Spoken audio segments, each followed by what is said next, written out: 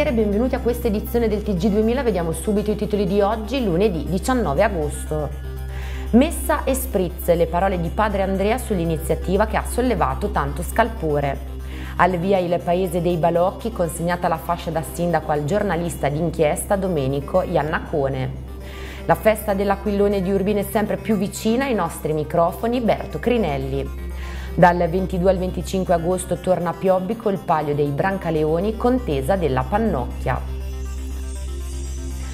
E apriamo l'edizione di oggi da una notizia che possiamo definire diventata ormai virale, si tratta di Messa e Spritz, un'iniziativa proposta dalla parrocchia universitaria ai nostri microfoni. Padre Andrea ci spiega in cosa consiste questa iniziativa e qual è l'obiettivo.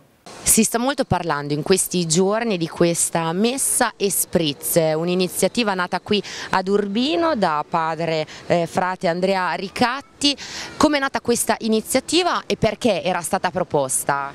Allora l'iniziativa è nata già dallo scorso anno che dopo la messa noi offrivamo una, una pericena, per, per un aperitivo insomma, per i ragazzi e poi quest'anno, siccome sappiamo che la pastorale universitaria qui a Urbino cambia in continuazione perché arrivano nuove matricole, nuovi studenti, allora per far conoscere l'iniziativa ai nuovi avevamo pensato a questa locandina, quindi pensando anche a una locandina un po' giovanile, allora avevamo pensato a questo titolo e poi ovviamente è successo tutto insomma, la, il clamore, siamo diventati virali diciamo così.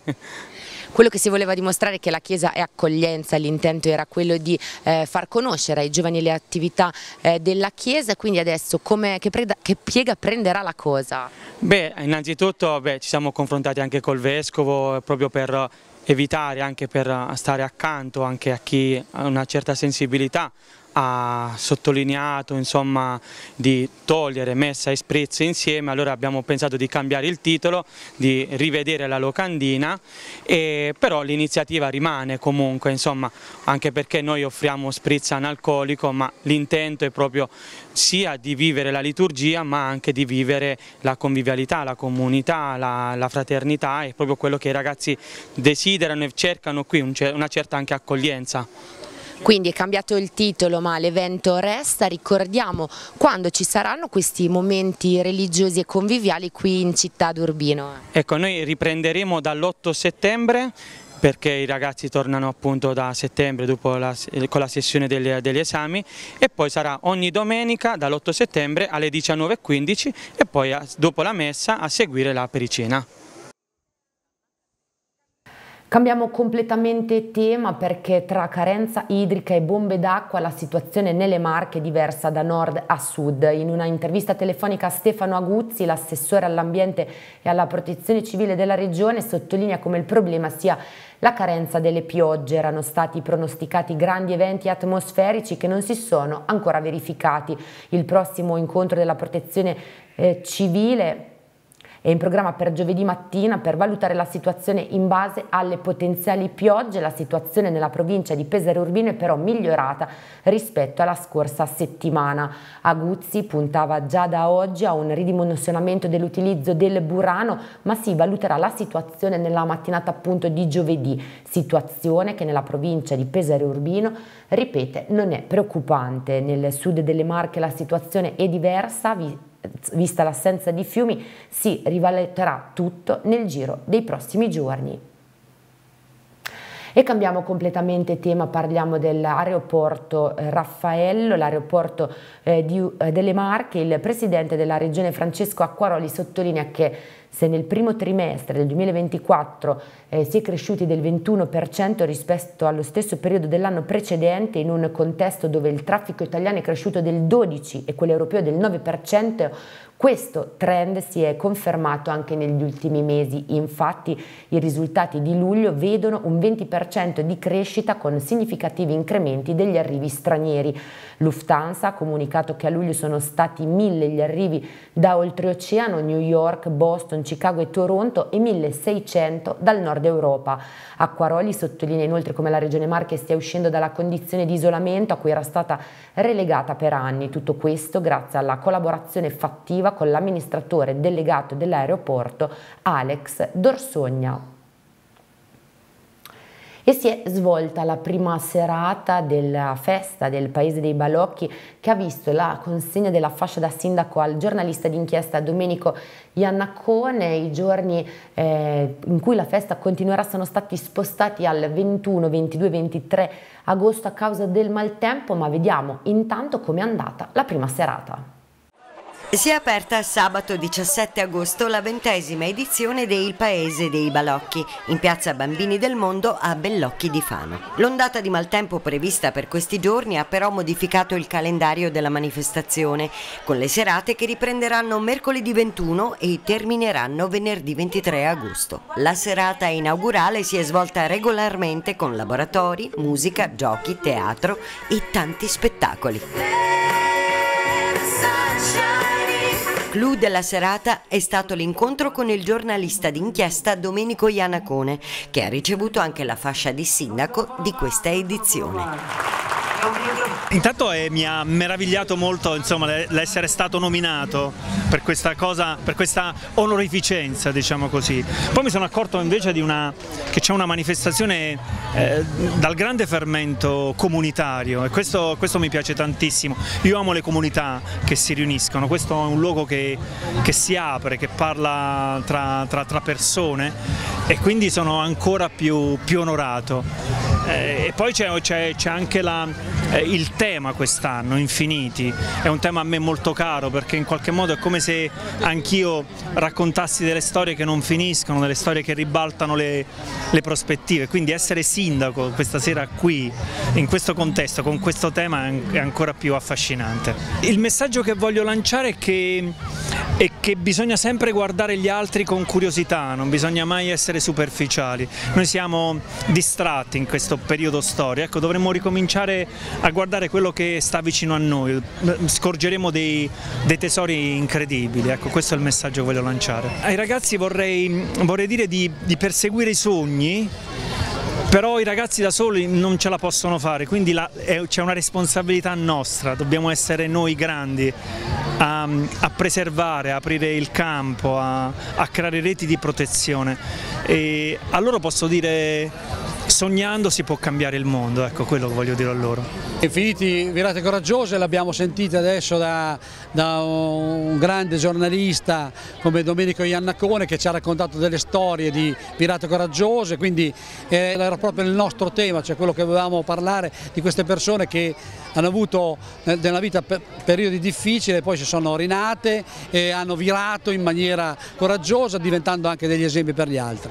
Chiaramente con, con gli spostamenti dovuti alla pioggia previsti, venerdì 23 verrà qui sul palco Fabrizio Macchi che è un paraolimpico, quindi una bella storia, difficile di una virata importantissima e eh, sarà nominato eh, cittadino onorario del Paese Balocchi. Vent'anni del Paese Balocchi è proprio questo, è questo che siamo riusciti a fare, cioè tante cose insieme che dalla musica che in questo momento sentiamo forte, però diciamo serate come con Domenico Iannacone, eh, tanti giochi per bambini, laboratori, insomma veramente è uno spazio per tutti. Cambiamo tema e parliamo di infortuni e malattie professionali, lo facciamo con una nota di CISL Marche. L'INAIL ha reso noti i dati del primo semestre 2024 per quanto riguarda gli infortuni, in forte diminuzione il numero degli infortuni mortali sul lavoro, in crescita le denunce di malattie professionali mentre è sostanzialmente stabile il dato degli infortuni. Prosegue dunque l'azione di mobilitazione e di sensibilizzazione sostenuta da CISL Marche che attraverso il segretario generale Marco Ferracuti ribadisce l'importanza di tenere alta l'attenzione ogni giorno per contrastare questa scia di sangue come da impegni presi CISL Marche si aspetta che la giunta regionale convochi presto il tavolo con le parti sociali e incrementi le risorse a disposizione per la prevenzione degli infortuni e delle malattie professionali. E ci spostiamo nella città di Urbino dove è sempre più vicina la festa dell'Aquilone, come da consuetudine si svolge la prima domenica di settembre, 4 i giorni di grande festa, vediamo come le contrade si stanno preparando per questo grande evento con le parole di Berto Crinelli. Sempre più vicino alla festa dell'Aquilone, cosa significa questo countdown, questo avvicinarsi della prima domenica di settembre per i contradaioli? Eh, significa sinceramente che siamo leggermente in ritardo perché quest'anno non è come certi anni che la festa è il 5 o il 6 di settembre, è il primo, perciò addirittura quest'anno la festa inizia in agosto, alla fine di agosto. Però sicuramente i contradaioli ci sanno fare eh, e porteranno avanti la festa, porteranno avanti gli aquiloni che già hanno iniziato, chi ha iniziato a fare gli aquiloni di bellezza, il monte ha iniziato, ci stiamo vedendo, però capito, si fatica, si fatica a portare la gente in contrada e di conseguenza eh, gli aquiloni sono sempre meno. Però sul finale, sul finale, tutti quanti hanno piacere di far volare l'aquilone perché far volare l'aquilone è una cosa bellissima e poi in mezzo a tantissimi altri aquiloni, circa mille, e tutti quanti vogliono il proprio aquilone, perciò la festa sarà sempre un successo, anche se ci sono delle piccole pecche. Poi tutto si può migliorare, cercheremo di, di, di, di, proporlo, di proporre cose nuove, vedremo un po'. Quest'anno sarà difficile, ma il prossimo anno magari si riuscirà. Serve tempo per fare gli aquiloni, soprattutto alcuni tipi in gara come l'aquilone di bellezza richiede molto lavoro. Eh, il Monte cosa sta confabulando senza svelare troppo? Allora, anche qui stanno tutti partendo in ritardo. Io leggermente mi sono avvantaggiato per l'aquilone di bellezza piano perché avevo del tempo. Però sono, ci sono varie tecniche, cioè io magari lavoro per un mese due o tre ore al giorno, c'è chi invece gli ultimi giorni per, per eh, l'ultima settimana ci lavorano dieci ore al giorno, magari sono in tanti, perciò tutti quanti riusciranno a fare il loro aquilone sia tridimensionale che quello piano, perché poi tutte le contrade lo dovrebbero fare, perché magari fare solo quello piano, perché è uno spettacolo vedere all'inizio della gara, prima della gara, volare una decina di aquiloni piani molto scenografici, perciò l'impegno ci vuole, purtroppo eh, ci dobbiamo impegnare. Un eh, aspetto importante della festa atteso da molti sono diciamo, eh, scherzi e sfide tra i contradaioli delle diverse contrade, sono già iniziati o c'è già idea di qualche eh, piccolo dispetto? Ma io direi proprio di no perché anche l'anno scorso ci sono stati vari problemi, però io dico che per quello c'è sempre il tempo, perché poi gli scherzi vengono fatti proprio l'ultima sera, vengono fatti il venerdì sera prima della festa, dopo che c'è stata la riconsegna, perciò quelli non mancheranno e, e il monte sarà sempre pronto, anche se perché è il più aggredito in maniera simpatica e gogliardica, però noi rispondiamo sempre con le nostre cose gogliardiche. Ci vediamo alla festa, è il primo di settembre, ma non solo, perché ci sono varie iniziative. Il sabato ci sono tutte le gare individuali, perciò anche la Contrada del Monte si trova in difficoltà a trovare chi, chi, chi fa le gare individuali, perché oltre ad essere impegnative c'è un po' di emozione, perciò la gente un po' si tira indietro però troveremo qualcuno. E poi c'è il, questo il sabato pomeriggio, poi c'è il venerdì sera la riconsegna che sarà fatta, che la, la, la contrada di Hong Kong che ha vinto l'edizione passata, la fa la Fortezza, è un posto bellissimo e sicuramente sarà una festa molto riuscita. Il giovedì iniziano i ragazzini in, sul, al Collegio Raffaello, perciò anche quella sarà, quella ormai è 15 anni che la facciamo, è bellissima e tutte le contrade hanno un patrimonio inestimabile eh, perché abbiamo nelle proprie contrade 10-12 aquiloni fatti dai ragazzini negli anni passati, perciò in, in futuro magari anche quest'altro anno che è il settantesimo si potrebbe fare una bella mostra. E parliamo ora di due ruote, una grande partecipazione per la gara ciclistica categoria giovanissimi per il terzo trofeo presidentissimo Enzo Canuti a Talacchio di Valle Foglia. Canuti ha lasciato un'impronta significativa nel mondo del ciclismo, soprattutto grazie al suo impegno nel settore giovanile. La gara, organizzata dall'Associazione Sportiva Dilettantistica Kaiser Team di Bottega, capitanata da Federico Canuti e anche patrocinata dall'amministrazione comunale di Valle Foglia. Hanno partecipato anche quest'anno circa 130 ciclisti tra ragazze e ragazzi provenienti da diverse regioni. I giovani atleti si sono confrontati su un percorso di circa 800 metri interamente sviluppato nella zona industriale di Talacchio.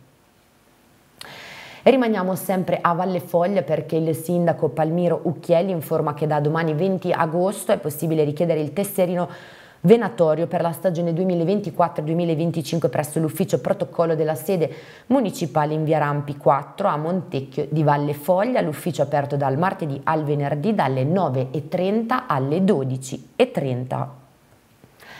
E ci spostiamo ora nella città di Piobbico, sarà un weekend di festa perché dal 22 al 25 di agosto torna il Palio dei Brancaleoni, contesa della Pannocchia, lo scopriamo insieme. Buon pomeriggio, ci troviamo nel cortile del Castello Brancaleoni di Piobbico per comunicare che dalla prossima settimana cominceranno i festeggiamenti a Piobbico.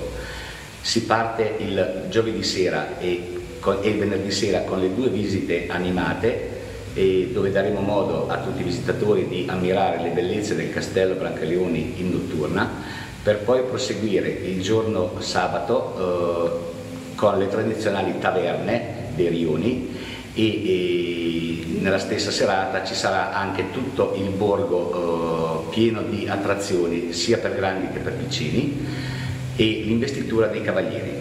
La domenica il tradizionale corteo storico e la disfida dei, eh, della, del Palio della Pannocchia eh, con eh, tanti giochi e, e, e, il gioco degli anelli che eh, chiaramente è quello più eh, tradizionale per poi proseguire il giorno, uh, il weekend del 31 e 1 settembre con il polentone e la carbonara. Non, ma non finisce neanche il 1 settembre perché il 14 e 15 settembre ci sarà comunque il corteo per l'elezione del presidente del club dei brutti. Finisce tutto a metà settembre, ma intanto ricominciamo ad invitare eh, ai primi eventi per poi vederci a Piorico.